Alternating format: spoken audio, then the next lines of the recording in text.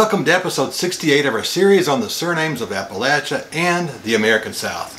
Before we get started, I thought it would be helpful to update you on how many names that we've covered so far and how many names that remain on the list. Now, we've discussed so far 687 family names, but we have 790 remaining. Whew. I tell you this so that if you request a surname, you will know that it will take me a while to get to it. It's understandable if you would like to know if your name has been covered so far. So just write me an email to uh, vanntagepoint22 at uh, gmail.com. I'll hit reply and attach the file. On today's show, we'll go far and wide in search of the origins and meanings of seven more family names, including one that thankfully doesn't serve as an alternate form of Swineman. so stick around to find out which one. I hope you'll join me. Let's get started. Number one, Absher. As we dive deeper into the list of surnames that viewers have requested, I'm finding more and more Americanized surnames. These are most typical, it seems, among Germanic surnames. This situation might apply to Absher, but there's an English possibility as well as one from Germany. So in England, there's a place in Essex called Upshur. It could also come from residing in an upper class part of an English district. In that case, one would be something of an upstart, hence Upshur. It could also come from the German Habischer, which was given to one who trains hawks, so in that case it's an occupational surname. I couldn't find Absher among the traditional surnames of Ireland, Scotland, or Wales, so I'm inclined to see Absher as an Americanized form of a German family name. One quick way to find out, absent a paper trail, is to do a Y chromosome test. If it comes back R1BL21, I think that the chance of it being a German name is decreased greatly. Number two, Prather. if you are into conservative political commentary, you might be familiar with the comedian turned Blaze talk show host, Chad Prather. Despite being born in New Jersey, Chad was raised in Georgia. I think he graduated from the University of Georgia too, and strongly identifies as being Southern and, of course, conservative. Just as we found a possible German origin for Absher, it seems that Prather is likewise a German surname for one who hailed from Prath or Prath, Rhineland. That's in western Germany. There's an old French name, Prater, which means priest, that comes close to Prather, but I couldn't find a source that suggested that Prather was derived from England or uh, France, which shared hundreds of names thanks to the Normans beginning in the 11th century. Now, if you do a Y chromosome DNA test and it comes back as M269, which is way downstream of R1BL21, you can get closer to eliminating a German origin for your line of Prather. Number three, Pigman. okay, I have to admit that the comedian in me, which I try to keep hidden from you out of fear of offending someone, required a wee bit of extra fortitude to resist the impulse to have some fun at Pigman's expense. One online source points to Staffordshire, England for the place of origin of pigman, which the source claims was given to a person who traded in pigs. Now I'm glad that it wasn't because they looked like a pig. Now thankfully the American Dictionary, or the Dictionary of American Family Names, claims that it's most likely a variant of the English pickman.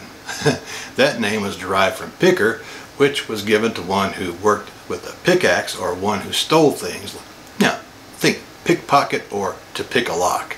In either case, I'm confident that it's an English surname. Number four, Wetzel. If you did a Y chromosome test and you found that you have R1BL21 or a subclade downstream from that haplogroup, it's a good chance, or there's a good chance, that there was some hanky-panky in your old tree because Wetzel is yet another German surname.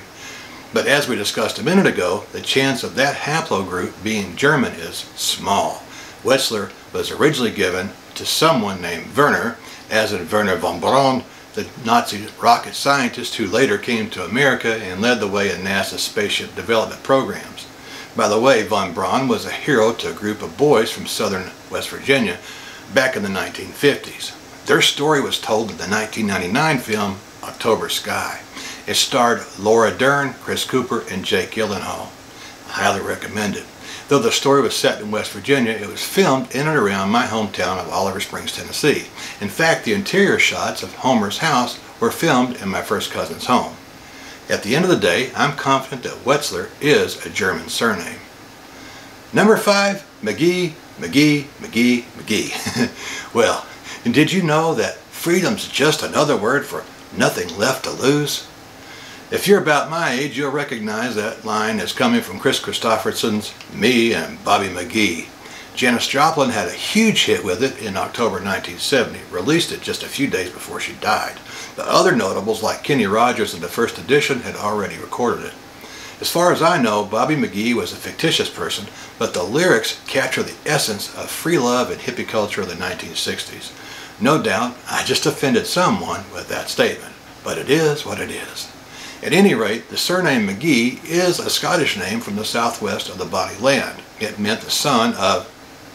George Fraser Black says that the surname has been in the Scottish records since 1296. Those are the days of William Wallace and Robert the Bruce. Man, that goes back pretty good ways now.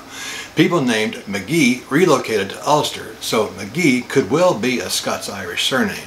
Only a paper trail can determine the origin or original line eh, the origin of your original, the origin of your line of McGee. I'll get it out in just a second. Sorry about that. Number six, Stanley. If you're a consumer of radio or online-based Christian ministry, ministries, you may well have heard of the passing of the Baptist preacher Dr. Charles Stanley. He was a longtime pastor of First Baptist Church in Atlanta. I think he was at First Baptist for like 49 years. Dr. Stanley's surname is of English origin. It was given to one who lived on a rocky or stony land. The surname Stanley has been in Scotland since the 15th century, but Black says that it has an English origin. By now, the Scottish bearers of the name Stanley are enculturated into the culture of Scotland. Moreover, in Ireland, Stanley arrived two centuries earlier than in Scotland. Although the folks with that name on the Emerald Isle are effectively Irish, MacLysaght recognizes Stanley as an English habitational name. I think you'll need a paper trail to locate the origin of your line of Stanley. Number seven, Garrett. If you're a fan of the myths and legends of the Old West, no doubt you've heard of Henry McCarty or William H. Bonney. If those names have stumped you, you have no doubt heard of his common name, Billy the Kid. It was Pat Garrett who put an end to the life of Billy the Kid, the killer of 21 men during a short 21 years of life on planet Earth. Pat Garrett was born in Alabama, so he had Southern connection. The English surname Garrett is an alternate form of Gerard as in Scotland's Gerard Butler. Not surprisingly, it's found among the traditional surnames of Ireland and Scotland. So I think you'll need a paper trail to locate the origin of your line of Garrett. Well folks, that's all I have for you today. I hope you got something meaningful out of it. If you did, please like, share, and subscribe to the channel. Until I see you again, may the good Lord bless and keep you. May he make his face shine on you and give you peace. Bye-bye.